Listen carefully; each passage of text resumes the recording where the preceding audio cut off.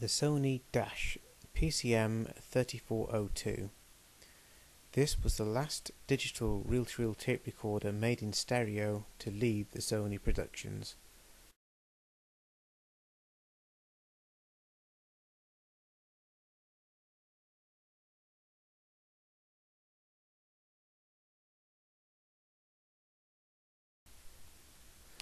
As the recorder plays, we have two sets of VU meters, auxiliary, which is an analog recorded channel on the tape, and the left and right channel, which are two digital channels recorded on the tape.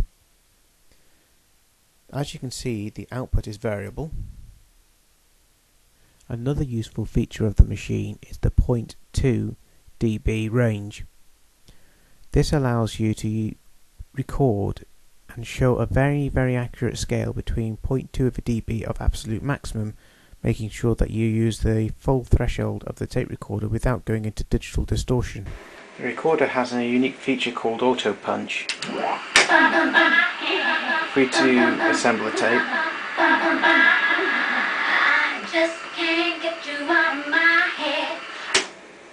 Like so. Go back to the digital output. If we press the auto punch, just can't get you out of my head. Just can't, get you out of my head. Or we can take it forward. It does take a little bit of time, as it seems to be incredibly accurate in how much you can and cannot trim on it. If I take it uh, forward a few frames,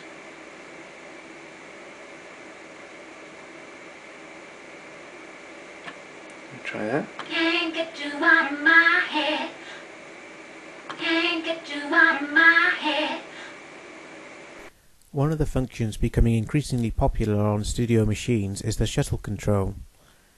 Engaging it meant that the operator could fast forward or rewind whilst listening to the tape at the same time at different speeds.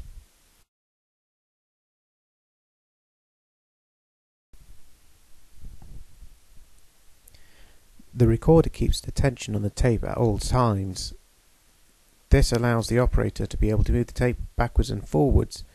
The tape will not come away from the head so long as it's not forced or moved too quickly.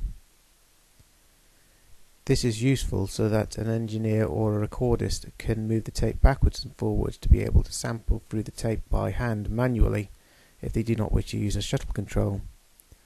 Once they have found the spot that they want to either remove or splice out, edit is pressed and the tape then becomes loose and slack enough so that the editor can take the tape off from their heads, put it onto a splicing block and cut it. Pressing the stop function on the recorder then brings the tension back. The digital audio is recorded onto the tape using 8 digital heads. The flashing orange lights indicate a cyclonic redundancy check. The recorder can have many errors before this affects the sound signal. To the left you can see a green orange LED saying correct. If the error correction is too high, the lights will go to orange. If it becomes unreadable, the muting circuit will kick in and the sound will stop being replayed. There is another signal recorded onto the tape. This tape allows the recorder to digitally track the tape. The phase shows the correction between the replay of the tape and the signal reproduced. The phase difference is very similar to what's known as wow and flutter on an analog machine. The recorder uses the digital signal to correct any kind of problem so that the wow and flutter is kept at a very minimal